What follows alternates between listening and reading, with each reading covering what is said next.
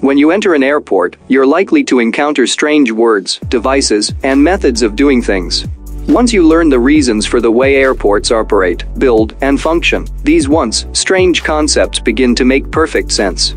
The airport runway numbering system is one of those things. Airport runway numbering basics.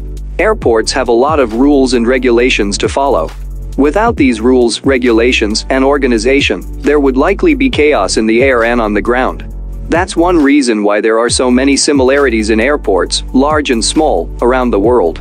There's a system in play one that works.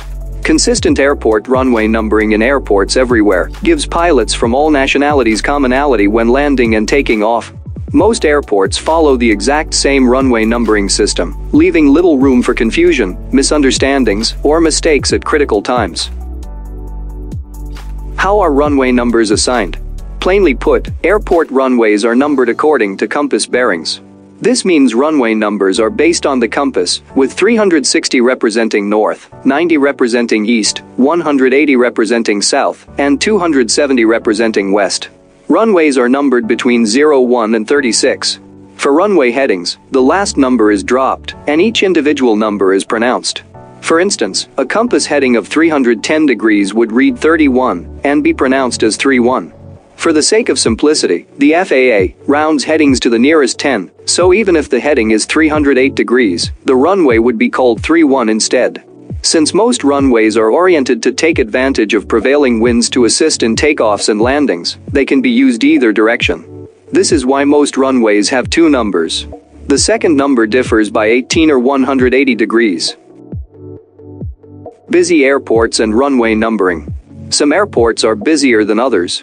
Airports that have two parallel runways going in the same direction, they are designated as the left or right runway with an L or R. In this case, runway 31 would be called 31R or 31L. If there are three parallel runways, the designation of C will be assigned to the runway in the center. In this case you would have 31L, 31R and 31C. Exceptionally busy airports like ATL in Atlanta and LAX in Los Angeles may have more than three runways parallel to each other. In these instances, even though all runways have the same heading, the number for some of the runways is shifted by 10 degrees, making for a one-digit difference. In the case of Dallas-Fort Worth there are five runways with the same heading. Those on the east side of the airport have the traditional L, R, C designations, according to standard runway numbers, while those located to the west have been increased by 10 degrees, while utilizing the L and R designations. So guys, what are your thoughts about how runways are named? Let us know through the comments. Well if you liked the video make sure to subscribe and share this with all your friends interested in aviation. See you all in the next video, until then, goodbye.